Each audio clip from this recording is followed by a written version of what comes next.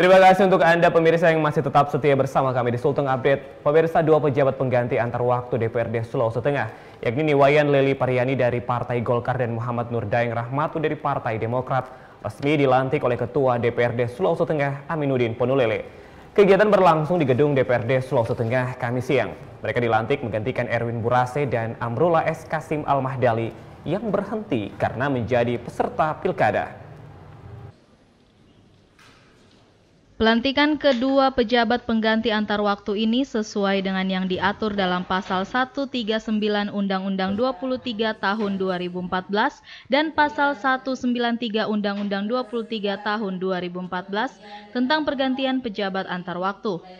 Kedua pejabat PAW ini akan melanjutkan masa tugas kurang lebih satu tahun dan melengkapi posisi anggota DPRD Sulawesi Tengah yakni 45 orang pasca diberhentikannya Erwin Burase dan Amrullah S. Kasim Al-Madali dengan hormat. Niwayan Leli Pariani dari Partai Golkar resmi menggantikan Erwin Burase yang saat ini tengah bertarung di arena Pilkada Kabupaten Parigi Mautong. Sebelumnya Leli merupakan anggota DPRD Kabupaten Parigi Mautong dari fraksi Golkar periode 2010-2014.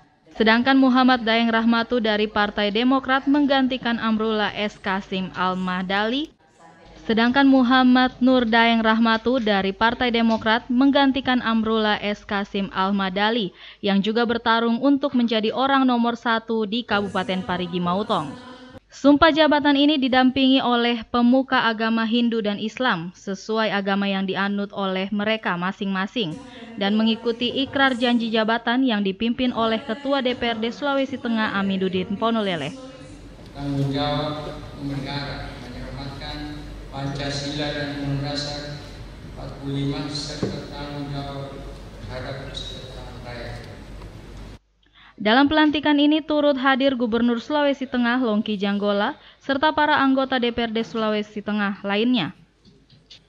Diharapkan Niwayan Leli Pariani dan Muhammad Nurdaeng Rahmatu dapat memberikan kontribusi dalam pembangunan Sulawesi Tengah.